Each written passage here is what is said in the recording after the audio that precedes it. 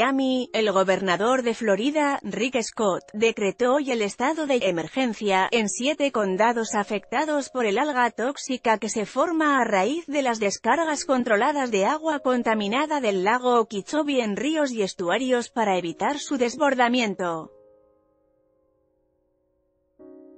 La declaración, que abarca los condados Glades, Henry, Lee, Martin, Okeechobee, Palm Beach y Street. Lucy, permite a las autoridades estatales descargar y almacenar agua en áreas adicionales al sur del lago, explicó Scott, tras hacer un recorrido por el acuífero. El gobernador señaló que la medida busca minimizar los impactos dañinos que estas emisiones están teniendo en las comunidades. Imagen ilustrativa.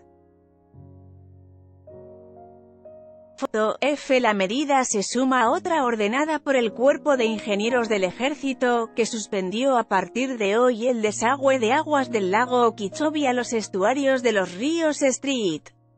Lucy y Calusache, cuya contaminación debida al exceso de nutrientes es propicia para la formación de algas tóxicas.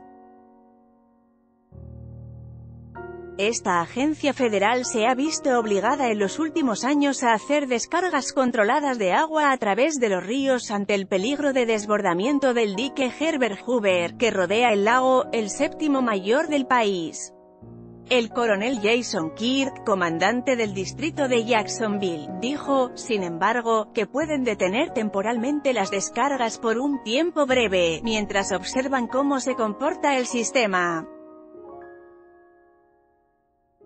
Imagen ilustrativa Foto, F. Las descargas contaminantes del Okeechobee fluyen por los canales del dique, ríos y estuarios hasta llegar a varios condados del centro de Florida, lo que ha generado protestas de sus habitantes por la formación del alga tóxica.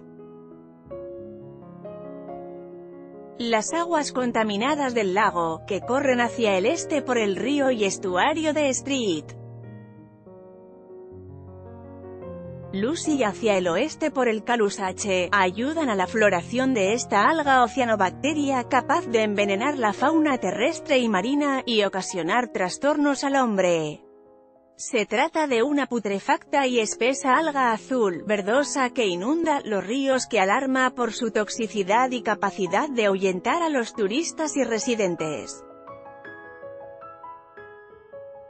Además del alga, el viejo dique Herbert Hoover, en el centro de Florida, se ha quedado pequeño para almacenar y retener las aguas cuando la lluvia arrecia. Scott recordó hoy que está pendiente de recibir fondos federales que utilizará para acelerar las reparaciones críticas del dique para almacenar más agua. Esta nota incluye información de FE.